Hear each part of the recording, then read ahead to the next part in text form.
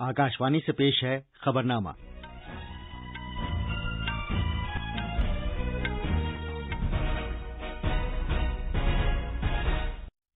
आदाब, खबरनामे के साथ मैं अब्दुल मालिक। पहले इस वक्त की अहम खबरें। वज़ीर आज़म नरेंद्र मोदी ने इस महीने की ग्यारह तारीख से चौदह तारीख तक कोरोना के खिलाफ बड़े पैमाने पर टीकाकारी पर ज़ोर दिया है।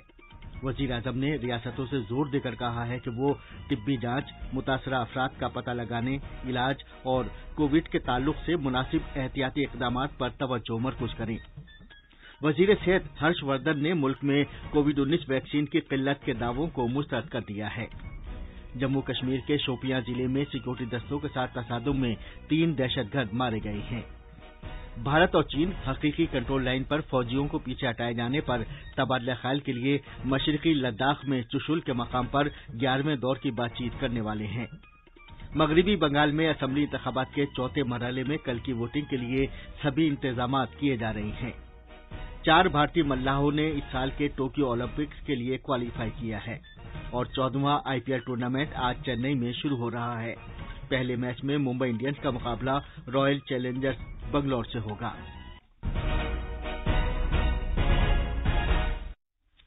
जैसा कि आप जानते हैं, मुल्क में कोविड के मामला फिर से बढ़ने लगे हैं। सामाईन से अपील है कि गफलत न बरतें, हर तरह की एहतियात पर अमल करें और 45 साल से ज़्यादा उम्र के सभी लोग किसी पसोपेश के बगैर टीका लगवाएँ। महफूज रहें और ये तीन आसान तरीके अपनाएँ।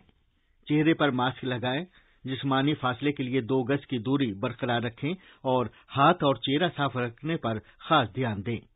अब खबरें तफसील से।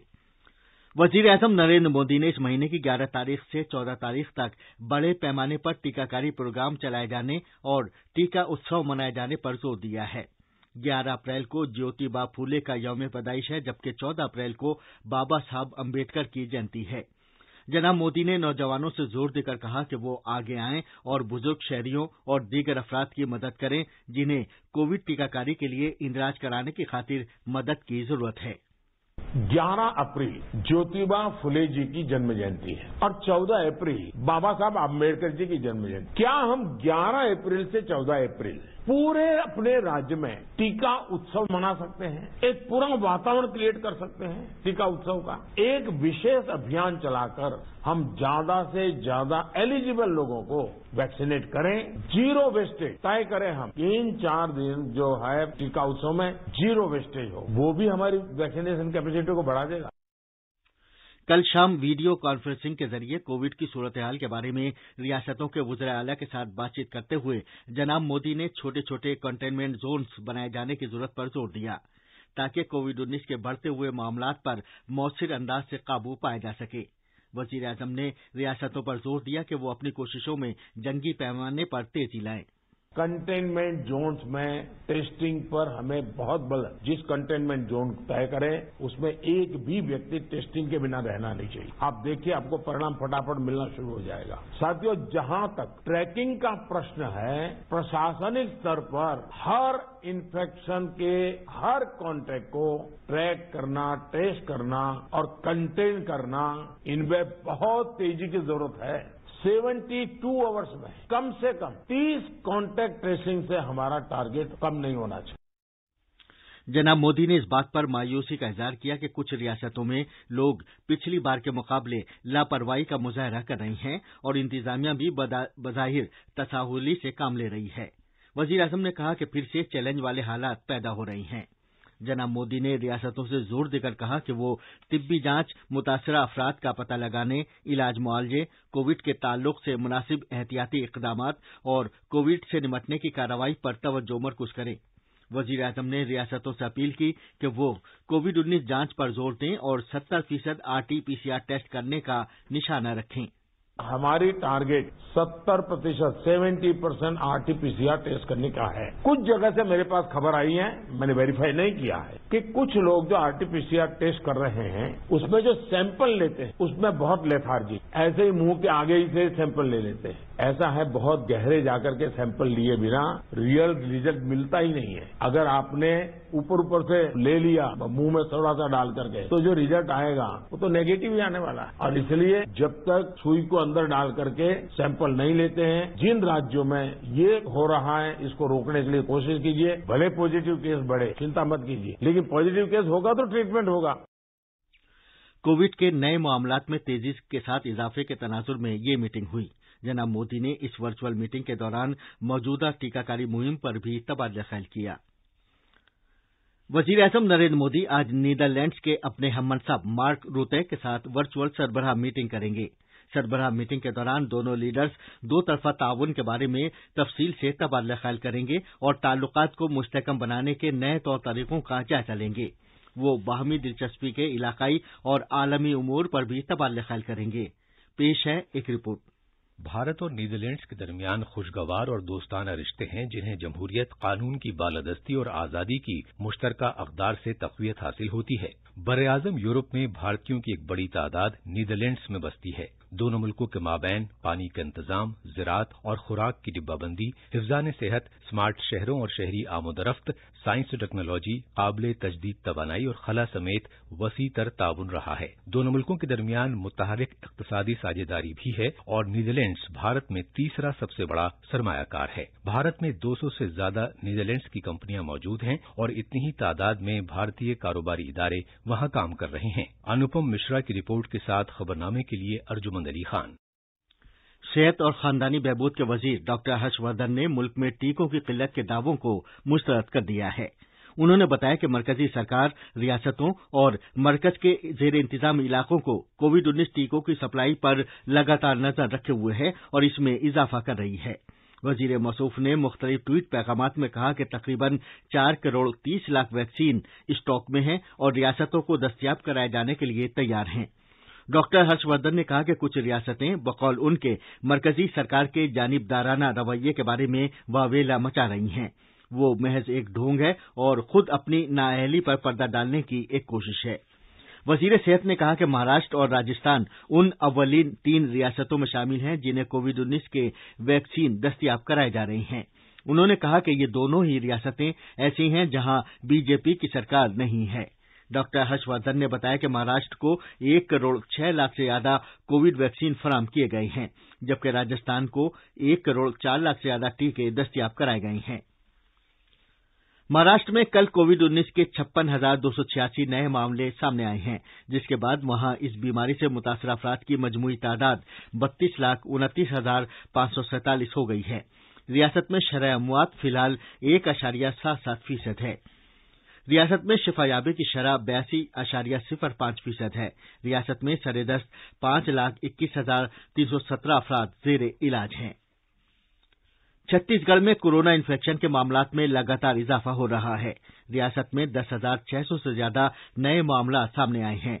कोविड की वजह से वहाँ कल बहत्तर अफराद की मौत हो गई। हमारे नामानिगार ने बताया कि कोरोना इन्फेक्शन की मौजूदा सूरत हाल के मद्देनजर रायपुर ज़िले में आज शाम से मुकम्मल लॉकडाउन नाफिज किया जा रहा है। पेश है एक रिपोर्ट। छत्तीसगढ़ के रायपुर ज़िले में आज शाम छह बजे से मुकम्मल लॉकडाउन नाफिज कर दिया जाएगा और ये 19 अप्रैल की सुबह तक जारी रहेगा।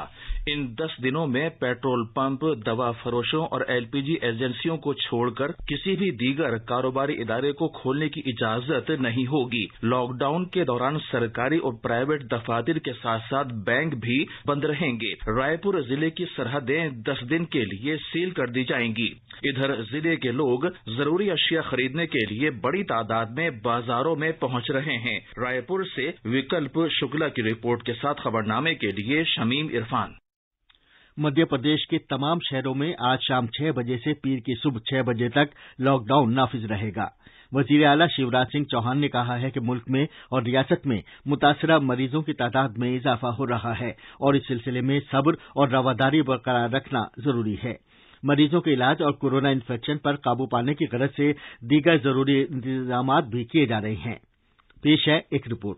रियासती हुकूमत निजी अस्पतालों में मुफ़्त इलाज के इंतज़ाम भी कर रही है। भोपाल के पीपल्स और जे के अस्पतालों में इंतज़ाम किए जा रहे हैं। अद्वियात ऑक्सीजन की कमी न होने पाए, इसे यकीनी बनाने के लिए मुनासिब बंदोबस्त किया जा रहा है। भिलाई स्टील प्लांट से ऑक्सीजन की सप्लाई शुरू हो गई है। इस दौरान रियासत में जुमेरात को चार हज़ार तीन सौ चौबीस कोविड के नए मामले सामने आए और सत्ताईस अमवात हुई, जबकि दो हज़ार दो सौ छियानवे मरीज़ शिफायाब हुए। भोपाल से पूजा पी वर्धन की रिपोर्ट के साथ खबरनामे के लिए अर्जुमंद अली खान। मुल्क में कोविड उन्नीस से बचाव के लिए अब तक मजमूई तौर पर नौ करोड़ चालीस लाख से ज़्यादा अफराद के टीके लगाए जा चुके हैं। सेहत की मरकजी वजारत ने कहा है कि कल रात आठ बजे तक चौंतीस लाख तिहत्तर हज़ार से ज़्यादा टीके लगाए गए हैं। ये खबरनामा आकाशवाणी से नष्र किया जा रहा है। जम्मू कश्मीर के शोपियाँ ज़िले में सिक्योरिटी फोर्सेज के साथ एक तसादुम में तीन दहशतगर्द हलाक हो गए। आखिरी खबरें मिलने तक तसादुम जारी था। कल ये तसादुम उस वक्त शुरू हुआ था जब इलाके में दहशतगर्दों की मौजूदगी के बारे में एक खुफिया इतला की बुनियाद पर फौज जम्मू कश्मीर पुलिस और सीआरपीएफ ने शोपियाँ में जन मोहल्ला की घेराबंदी कर दी। सिक्योरिटी फोर्सेज ने दो से तीन दहशतगर्दों को एक घर के अंदर घेर लिया है। वहाँ फंसे दहशतगर्दों में अलकायदा से तहरीक पाने वाली तंजीम अंसार गजवतुल हिंद का चोटी का कमांडर भी शामिल है। तसादुम में चार जवान भी जख्मी हुए हैं। भारत और चीन के दरमियान ग्यारहवें दौर की बातचीत आज सुबह मशरकी लद्दाख में चुशुल बीपीओ के मकाम पर भारतीय इलाके में हो रही है। हमारे नामानिगार ने बताया कि दोनों मुल्कों के कोर कमांडर खित्ते में महाज आराई वाले बखिया मकामात से फौजियों को पीछे हटाए जाने पर तबादला ख्याल करेंगे। मशरकी लद्दाख खत्े में तकरीबन एक साल की महास आरई के बाद ये बातचीत हो रही है। कोर कमांडरों की आज की बातचीत में लद्दाख के गोगरा, हॉट स्प्रिंग्स और देवसांग जैसे टकराव के दीगर मकाम पर तवज्जो मरकूज की जाएगी। इससे पहले दस दौर की बातचीत के बाद पैंगोंग सो झील के जनूबी किनारों और फिंगर इलाकों से फौजियों को पीछे हटाया जा चुका है। पिछले साल मौसम गर्मा की खुरेजी के बाद खत्े में अमनो इस्तेकाम बहाल करने के लिए कई सतह के राब्तों के नतीजे सामने आ रहे हैं। बातचीत में भारतीय वफ्त की सबराही चौदहवीं कोर के general officer commanding lieutenant general P G K Menon कर रहे हैं, जबकि चीन की पीपुल्स लिबरेशन आर्मी के वफ्त की क्यादत जनूबी शिंजियांग के फौजी कमांडर हैं। लेह से रमेश चंद्र की रिपोर्ट के साथ खबरनामे के लिए शमीम इरफान। मगरबी बंगाल में असम्बली इंतबात के चौथे मरहले में कल कूच बिहार और अलीपुर द्वार ज़िले में वोट डाले जाएँगे। अलीपुर द्वार ज़िले में पाँच, जबकि कूच बिहार में नौ हल्के हैं। कूच बिहार ज़िले में सत्तर उम्मीदवार इंतजामी मैदान में हैं, जबकि अलीपुर द्वार ज़िले में तीन खवतीन समेत बयालीस उम्मीदवार चुनाव लड़ रहे हैं। भारत के चार मल्लाहों ने इस साल के टोक्यो ओलंपिक्स के लिए क्वालीफाई करके तारीख रकम की है। ओमान में जारी एशियन क्वालीफायर्स के दौरान विष्णु सर्वानंद और गणपति चेनगप्पा और वरुण ठक्कर की जोड़ी ने ओलंपिक खेलों के लिए क्वालीफाई किया। चौथवां आईपीएल टूर्नामेंट आज शुरू हो रहा है। चेन्नई के चेपक ग्राउंड्स में आज पहला मैच मुंबई इंडियंस और रॉयल चैलेंजर्स बेंगलौर के दरमियान खेला जाएगा। ये मैच शाम साढ़े सात बजे शुरू होगा। टूर्नामेंट का फाइनल तीस मई को अहमदाबाद के नरेंद्र मोदी स्टेडियम में खेला जाएगा। ये थी खबरें। अब अखबार के आईने के साथ हैं अर्जुमन अली खान। शुक्रिया अब्दुल मालिक। आज शाहने वाले उर्दू अखबारों ने गुरु तेग बहादुर जी के चार सौवें प्रकाश पर्व के मौके पर कायम करदा एक आला सतही कमेटी के इजलास की सदारत वज़ीर आज़म नरेंद्र मोदी की जानब से किए जाने को अपने पहले सफे पर अहमियत के साथ जगह दी है। इस मौके पर वज़ीर आज़म ने कहा कि मुल्क में सिख गुरुओं की रिवायत अपने आप में मुकम्मल ज़िंदगी का फलसफा रही है और इसकी बुनियादी फ़िक्र को नौजवान नस्ल और दुनिया में सभी लोगों तक पहुँचाया जाना चाहिए। रोजनामा प्रताप ने वज़ीर आज़म नरेंद्र मोदी के दिल्ली के एम्स में कल कोरोना से बचाव का दूसरा टीका लगाए जाने की खबर को अपने सफ़ा अव्वल पर शाये किया है। अखबार ने वज़ीर आज़म की लोगों से इस अपील को भी अहमियत के साथ शाये किया है कि वो CoWIN dot gov dot in पर इंदराज करवाकर टीका लगवाएँ। और आखिर में अहम खबरों की सुर्खियाँ एक बार फिर। वज़ीर अजम नरेंद्र मोदी ने इस महीने की 11 तारीख से 14 तारीख तक कोरोना के खिलाफ बड़े पैमाने पर टीकाकारी पर ज़ोर दिया है। वज़ीर अजम ने रियासतों से ज़ोर देकर कहा है कि वो तिब्बी जाँच, मुतासर अफराद का पता लगाने, इलाज और कोविड के ताल्लुक से मुनासिब एहतियाती इकदाम पर तवज्जो मरकूज करें। वज़ीर सेहत हर्षवर्धन ने मुल्क में कोविड उन्नीस वैक्सीन की किल्लत के दावों को मुस्तरद कर दिया है। जम्मू कश्मीर के शोपियाँ ज़िले में सिक्योरिटी दस्तों के साथ तसादुम में तीन दहशतगर्द मारे गए हैं। भारत और चीन हकीकी कंट्रोल लाइन पर फौजियों को पीछे हटाए जाने पर तबादला ख्याल के लिए मशरकी लद्दाख में सुशुल्क मकाम पर ग्यारहवें दौर की बातचीत करने वाले हैं। और चौथवा आईपीएल टूर्नामेंट आज चेन्नई में शुरू हो रहा है। पहले मैच में मुंबई इंडियंस का मुकाबला रॉयल चैलेंजर्स बंगलौर से होगा। इसके साथ ही ये खबरनामा खत्म हुआ।